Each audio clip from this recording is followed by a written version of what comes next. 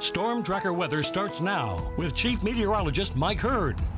Well, the slush that was on the table just fi about five minutes ago is now turned to pure ice.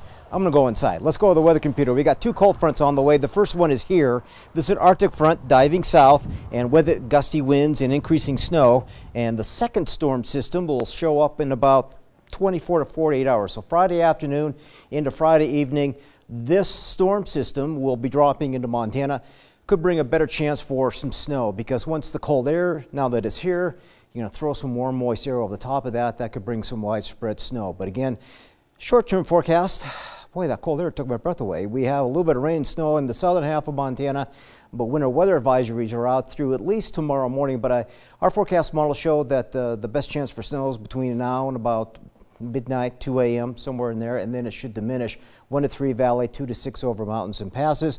Higher elevations in these areas highlighted in pink definitely we'll be looking at some heavier snow bands. A winter storm watch is out for storm number two, and there could be an additional 6 to 12 inches. And I'm expecting uh, some winter storm warnings to go up with storm number two, and we'll look for those highlights tomorrow. So our high resolution model again showing the cold air sinking southward. We got these snow bands moving through the region, but things will clear out by about 7 or 8 o'clock tomorrow morning and then it's just cold. It's cold all day long, should be a dry day, but we're going to expect the arrival of storm number two showing up Friday afternoon, diving into west central, northwest, and central areas of Montana.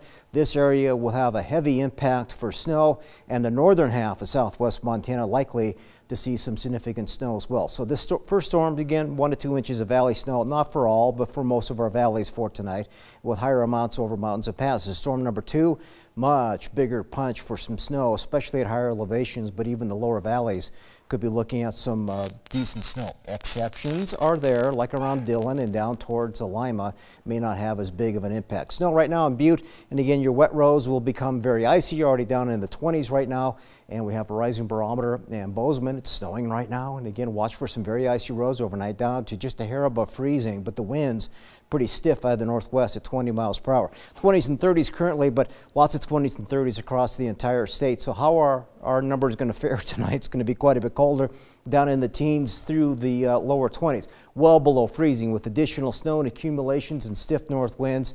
Arctic front moving through tonight. So that's nothing to mess around with. Uh, try and limit your exposure to the uh, colder weather and the wet weather. And you can see the numbers here too are going to be very cold. So cold enough that our roadways will be very, very icy later tonight and tomorrow morning, both in the valley floor and up and over the mountain passes. Tomorrow, though, should be a dry but cold day. Not too many temperatures reaching the freezing mark. You have to get way in the far western half of Montana to see those upper 30s, like around Missoula, for example, but mostly a mix of 20s and 30s as you move eastward. So it's going to be a dry but a cold Thursday. So storm number two shows up Friday night into Saturday Butte, and that has some colder air associated with it. But once that storm moves out and skies clear, Sunday, Monday morning down about 10 to 15 below zero. But look how quickly we rebound out of that by Wednesday of next week. For Bozeman, a good chance for snow tonight into early tomorrow morning, but tomorrow should be a mostly dry day.